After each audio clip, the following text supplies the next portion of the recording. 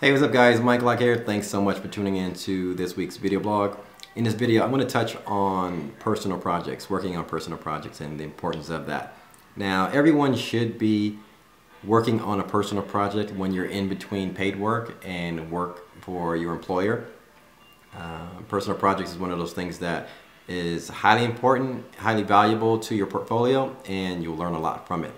Uh, one of the biggest things, one of the biggest, um, I guess, uh, uh, things in design is that you're servicing people, and, and the servicing business is uh, can be frustrating a lot at different times because when you're um, dealing with clients, you know, they may not respect your feedback there, they might, or they may not respect your creativity completely. They may have changes and things that you don't agree with.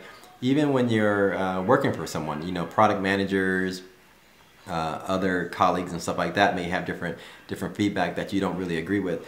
And it can become frustrating okay? It doesn't matter what level you're at that's always an issue.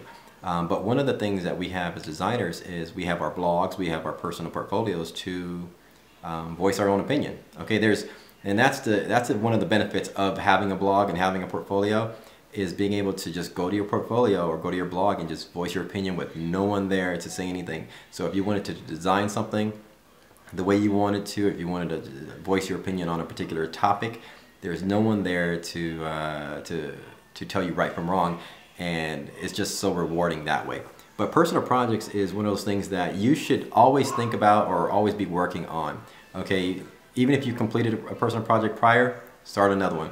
But the point is, a personal project is anything. Take a website that you think needs to be redesigned. Take um, your favorite uh, athlete, take your favorite actor or a movie or a product or your favorite thing that you love to do. Maybe it's outdoors, dogs, surfing, whatever it is. And think about a website or a concept of a website product that you can put together. Okay, a while back, someone, uh, I saw a redesign of Facebook. Someone decided to redesign Facebook and they showed like eight different page views of, of the redesign and it looked really good. And uh, whether or not 100% of the time people agreed with that design is not the point. But as an employer, if I'm looking at that person who took the initiative to design this, he obviously came up with a nice concept. He came up with a nice information architecture.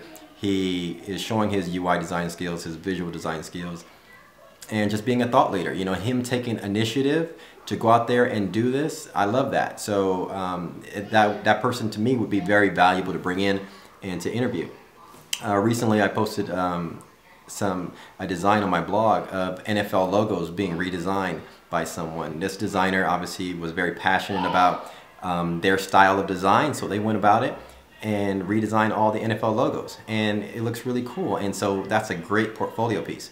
So working on a, a personal project is highly important because you're going to learn a lot from when you're working on, the, on a personal project because you're going to be researching and planning and doing different things also it's a it's an awesome portfolio piece to have for you to and it's also rewarding because no one is going to tell you right from wrong. This is your chance to actually do whatever it is that you like and you want and no one can tell you right from wrong uh, in, in doing so. And uh, the thing that you want to keep in mind when you're working on a project is you want to think quality not quantity. So you don't want to complete projects really quick like within a day or two or a weekend.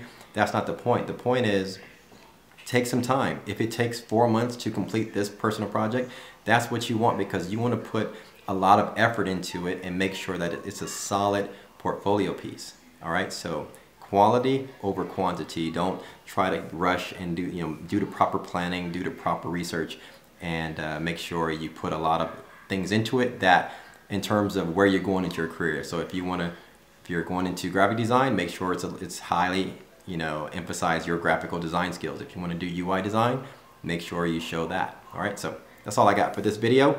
Uh, if you have any questions, always visit my website for more tips and stuff and uh, personal training in web design. And uh, shoot me any questions you have. I'll be happy to answer that. We'll talk soon. Take care. Have a good weekend.